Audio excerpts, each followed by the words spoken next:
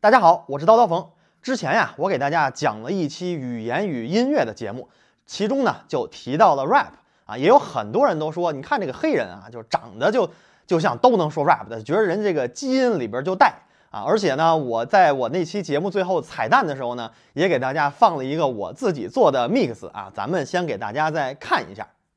Well, I woke up to go get me a cold pop, then I thought somebody was barbecuing. I said, Oh Lord Jesus, it's a fire.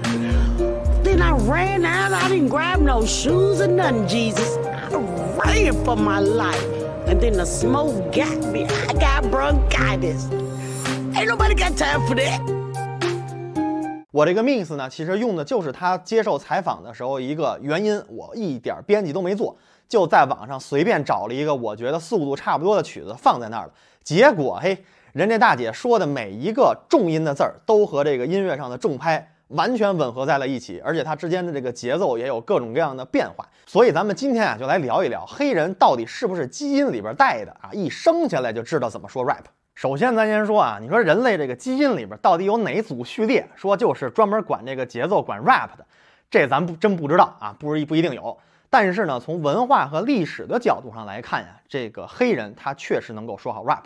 从起源上说，rap 这种形式啊，其实在非洲西部已经存在了好几百年了啊。当地有一种神人叫 Griot，他们呢既是音乐家，同时也是史学家，同时还是讲故事的人。啊，听着是不是跟咱什么唱快板的、西河大鼓的差不多呢？啊，就是人家这个东西也是人家的传统文化，已经传承了几百年了。所以呢，美国黑人里面的非洲裔啊，就把这个东西带到了美国。所以从根源上来说，这是人家祖宗里面就传承下来的东西了。咱再从听感上说，这个 rap 到底听的是什么呢？我们常说 rap 听的是这个 flow 啊，那啥叫 flow 呢？其实就两方面，一个是节奏，一个是歌词儿。那么从节奏上说呢，还是要说回这个非洲裔的黑人，在非洲的民族音乐当中啊，节奏是他们最重要的部分，可以说恨不得是他们唯一的一个元素啊。我们知道这个非洲啊，绝大多数的这个乐器都是鼓，唯一的一个旋律性的乐器呢是非洲木琴，我们叫 gill 啊，不同地方有不同的叫法。这个 gill 它在调音的时候也特意调成了五声音阶，也就是说它每个音和每个音之间听都是和谐的。所以它在演奏的时候呢，就不用考虑到底我这个音应该怎么发展，而是拿它纯当成一种鼓来打，只不过呢带点这个音高，添加点色彩而已。所以从这个点来说呢，非洲人的节奏感也是他们好几百年、上千年里面一直传承下来的了。所以如果您要是听美国的这些 rapper 啊，他现在用到的很多节奏是非常非常复杂的啊，不光是什么八分音符啊、十六分音符啊，或者中间加点三连音啊，它还有各种各样的，比如什么切分的节奏啊、什么反拍呀、啊后半拍呀、什么更多的甚至五连音啊，甚至有的不在拍子上怎么再找回来呀？啊，换句话说吧，基本上跟我们打击乐是差不多的啊，和我们打击乐手干的这些事儿基本上一样。有很多的 rapper，甚至他们把自己标榜为打乐手，他们觉得他们就是打乐手，只不过人家不用锤儿打鼓，人家用嘴直接把这个节奏给你唱出来，给你说出来，啊，所以他这个节奏的复杂程度是远比我们日常所要接触到的要复杂的多得多。而且呢，在这个 rap 里面还有一个特别重要的一个特色是 lay back。其实这个 lay back 啊，不光是在这个 rap 里面有，在所有的这个黑人音乐里面，比如说爵士乐里面啊，或者这个 R&B 啊里面下属的所有这些黑人音乐里面，其实它都有这样的一个特色。为什么呢？您想啊，这个从祖先上说，非洲人生活在太大太阳底下，对吧？你你在四十多度的底下，你说你能精神得起来吗？你肯定每天就犯懒呀，你又没空调，没电扇，对吧？你就扇个扇子，睡个午觉也就行了。所以呢，他们几百年，他们的祖先其实就是有一点慵懒的状态的。所以在这样一种生活状态下，他自然语言说话就是慵懒的，所以他做出来的音乐也是有一点慵懒的。所以他所有的节奏呢，就宁愿往后去，也不往前走，宁愿迟到一点，我也不早到。如果您要想看这个 layback 的极致，我向您推荐一个 rapper 叫 J Z 啊，他基本上每一拍唱出来的时候啊，都在原本这个曲子节奏的稍微往后，比如说错后一个十六分音符啊，就大概那么一个位置上啊。但是呢，你又不觉得他唱的错的，因为他每一次啊错后的那个位置都一样啊，就相当于其实是有本来应该是这样的一个拍子，然后呢，他就稍微的平行往后错了这么一点儿，让你觉得呢稍微有一点重影儿。您恨不得拿个 3D 眼镜一看，哎，这玩意儿这这 rap 也是 3D 的吧？啊，就给您这么一种感觉。它和你这个啊时而往前，时而往后，或者都往后，每次多少都不一样的这种拍子不准是有本质性区别的。那么再从歌词上说呢，这就更有意思了，因为美国的黑人啊，尤其是最早唱 rap 这些人，其实是由两部分黑人组成的。哎，一部分呢是非洲裔的美国人，另外一部分呢。是加勒比海地区的这个中美洲的人，也靠近赤道，晒得也挺黑的啊。这两拨人呢，分别带了自己优秀的这个特质，进了这个 rap 的歌词里面。咱先说这个非洲裔的美国人，我们知道他们最早啊都是以这个奴隶啊贩卖到美国的。但是呢，在这个美国一战之前呢，美国出现了分裂啊，南部这些州呢继续蓄奴，北边的这些州呢奴隶就已经解放了。啊，所以南边这些奴隶就想，哎，你看人都解放了，谁不愿意去解放区啊？对不对？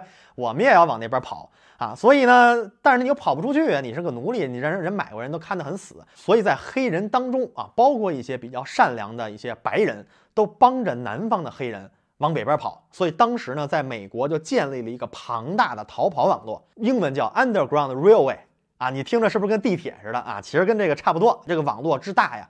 从南方一直往北通，最后一直都能通到加拿大，啊，那你说这么大的一个网络，对吧？你传递什么信号？你让人破译了怎么办呢？没关系，这时候人家歌词儿的部分就来了。他们在这个去教堂祈祷的这些圣歌里边，本来呢听起来就是简简单单的说我要对上帝怎么样怎么样啊，或者什么啊，上帝要带着我飞啊，对吧？只要一听有这方面内容，那就代表着晚上就要有人逃跑了。啊，它里面所有这些信息，什么几点在哪儿见谁，然后你中转站在哪儿，然后最终要去哪儿，它在这个歌词里面都很隐喻的，以一种江湖黑话的形式，都蕴含在里面了。啊，所以呢，就是它这个东西，它涉及到人的生存，而且这种帮人逃跑的这一套隐喻的黑话，在这个黑人文化当中也是存在了几十年，一直持续了下来。啊，咱再说这个加勒比海地区，在这边的黑人呢，虽然他不涉及到往哪儿逃跑的问题啊，但是呢，他涉及到很多生活作风问题啊。他这个唱歌经常会带一些男女关系啊，尤其是这个不得为外人言的男女关系啊。我今儿晚上要上谁家啊，跟哪个小姑娘去约会啊？明天我要跟谁带着她跑，后天我又看着谁家姑娘，哎呀，她怎么不喜欢我呢？你看她啊，这又狗狗又丢丢的，对吧？啊，所以他这个歌词里面呢，有好多这方面的信息。还像咱说，他又不方便直接说出来，怎么办呢？他就把一些很文雅的这个词儿啊，用一语双关的形式把这个信息呢就包含进去了。所以我们看最早唱 rap 这些人啊，要不就是因为要逃跑，所以里边带暗语的啊，要不就是带风流韵事，里边带暗语的。你说他这两部分人攒在一起写出来歌词儿，他能差得了吗？所以从这个方面上来说呢，过去的几十年，美国黑人他们的文化根源，歌词儿就占了非常重大的一部分。所以我们现在听这个美国人的这个 rap，它里面还是带有很多美国的俚语。当然，它用不着那些黑话了啊。但是我们经常说做听力的时候，你什么时候能把 rap 听懂了，说明你英语就算学到家了。为什么？就是因为它里面的这个暗藏的东西特别多。所以我们看它既有歌词儿，又有节奏。那你说人家这个 rap？是不是就相当于从基因里就带出来了呢？当然了，我们说了这么多，只是说呢，在黑人的文化当中有这些东西啊，对吧？你一个小孩生出来以后呢，也不是说他天生的就会啊，所以为什么黑人就普遍的来说 rap 水平这么高呢？真的就是因为人家天天听啊，就跟咱们传统曲艺似的，你得熏。我不知道如果有大家来美国这个呃住过一段时间，或者哪怕你来旅游啊，如果你大街上。过去一辆车，你就听“共死共死共死共共共死”啊，你就然后里边就开始哇就开始叨叨，就开始念叨。基本上你转头一看，司机绝大多数都是黑人啊，所以人家恨不得从生下来就接触，而且只接触这方面的音乐。所以呢，你说他在创作的时候，当然人就非常容易了，因为天天听的就是这个东西，所以他脑子里形成的就是这些最地道的一些唱法和最地道的这些音乐。啊，所以在这种大环境下成长起来，可以说绝大多数的黑人天生就是 rapper。所以之前啊，我曾经还在网上看过一个节目啊，这个两个白人做的，就大马路上拿了一半导体啊，过去找一黑人拦下来说，现场跟着这音乐，赶紧先给我说一段。每个黑人直接唱出来的，那都可以直接灌 CD。所以要说到这个方面呢，其实我们中国人啊。也有优势，尤其是从歌词上说。你看中国中文对吧？博大精深，里面你要想什么一语双关，蕴含个意思，那也是非常容易的。